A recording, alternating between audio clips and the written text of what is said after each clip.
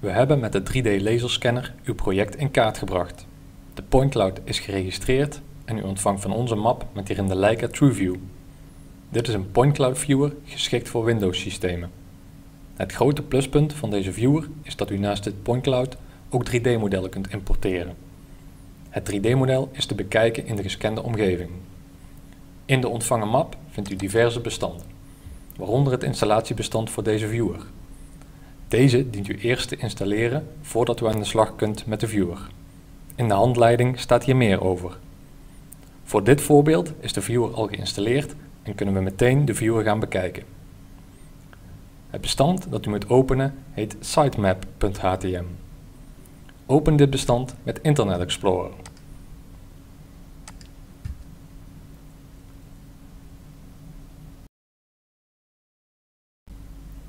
Als u de Point Cloud Viewer geopend heeft, ziet u een overzicht van de gemaakte scans.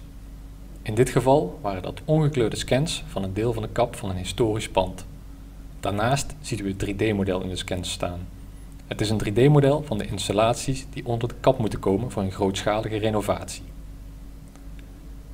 Klik op een scan om rond te kijken in de viewer. In de bovenbalk ziet u de mogelijkheden van de viewer. We laten er een aantal zien in deze video.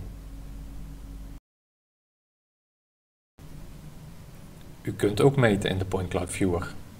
Bovenaan ziet u de Measure Distance tool. Klik deze aan en klik vervolgens op twee punten waartussen u de afstand wilt weten. In de linkerbalk ziet u nu de afstand die gemeten is.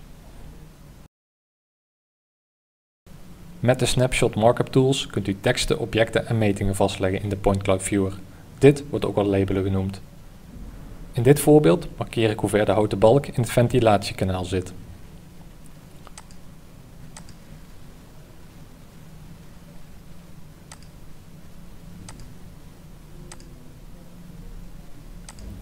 Deze afstand is nu in de Snapshot bibliotheek vastgelegd.